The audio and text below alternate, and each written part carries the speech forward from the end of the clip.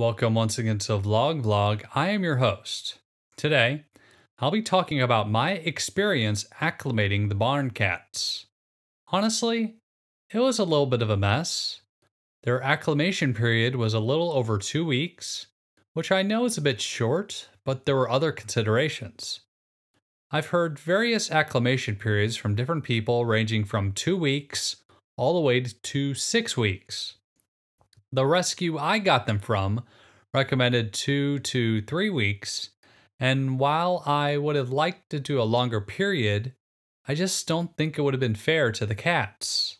Lord Megatron, in particular, had already been in the shelter for a number of months. I just didn't think it was fair for him to have to be in the crate for any longer than absolutely necessary.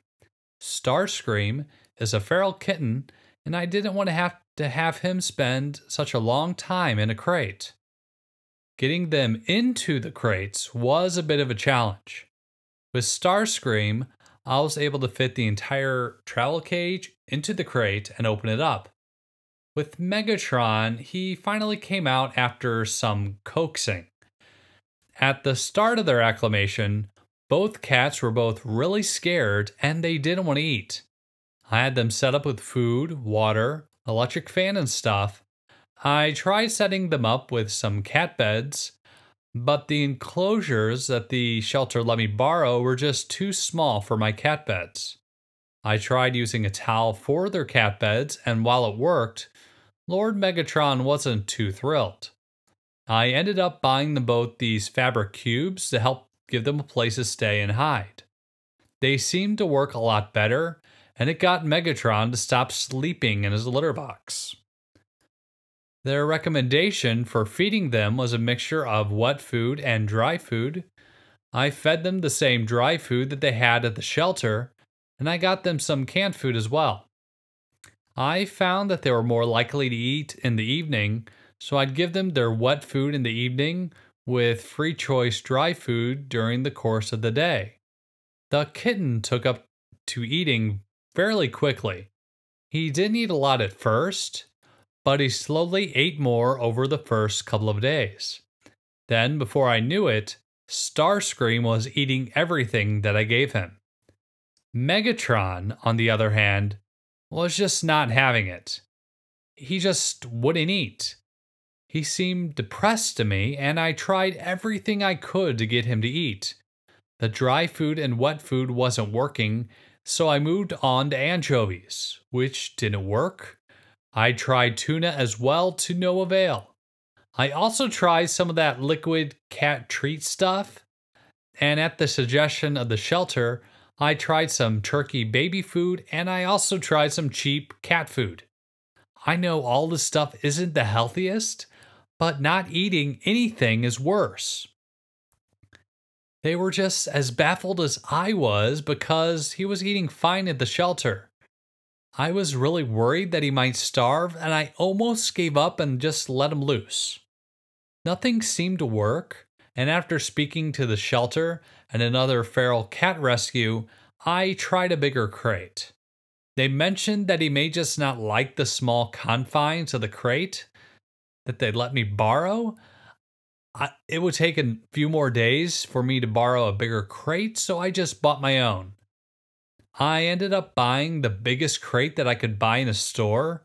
It's an extra large dog crate, and while it seemed to fit all of Megatron's stuff a lot better, I'm pretty happy with it, and I think it will work a lot better for the next time that I have to acclimate a barn cat. However, Lord Megatron wouldn't go into the new crate no matter what I tried. So I just moved all of his stuff into the new crate and let him decide to do it on his own. I was a little worried that he might escape, but he made the transition overnight. He seemed much happier at his new crate, and most importantly, he finally ate something. Every day, he kept doing better and eating more of his food. Before I knew it, he was eating all of his food. It was a huge relief for me that he was finally eating, and both cats seemed to be doing well. Megatron wasn't depressed anymore, and he even scratched me when I was cleaning his litter box, which really hurt. But at least I knew he wasn't sad anymore. He was just mad. Now that we're done with this acclimation business, it's time to finally get ready to release the cats. Honestly, I'm a bit worried that they may not come back. But I guess that's just part of the deal. They're wild cats and they're free to do what they want. Even if they were in the crate for the full six weeks or even longer, they may still not come back when they're finally released regardless of what happens, it's been a really interesting experience.